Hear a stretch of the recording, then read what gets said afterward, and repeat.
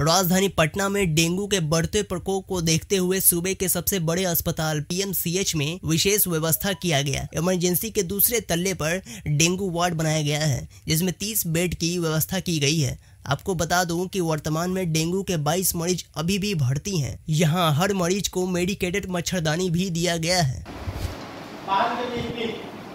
चलेगा एक का आदमी रहेगा बाकी सब आगे चलिए बस एक के बाद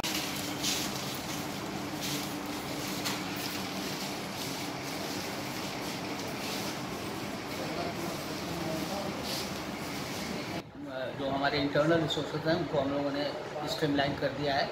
अभी काम चल रहा है आउटडोर में भी और इमरजेंसी में भी।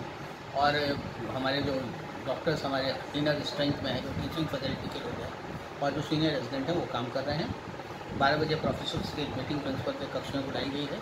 उसमें भी हम लोग आगे के हड़ताल से कैसे सक्षम, ढंग से निपट सकें, इसके बारे में हम लोग बातचीत करेंगे। बढ़ते डेंगू के कारण जितने भी प्रिकॉशंस हैं क्या क्या लिए? हैं सारे प्रिकॉशंस लिए गए हैं, डेंगू वार्ड बना दिया गया है प्लेटलेट का सफिशियंट इंतज़ाम रखा गया है, और जो बाकी लाइफ सपोर्ट सिस्टम वो सब हमारे यहाँ रेडी है।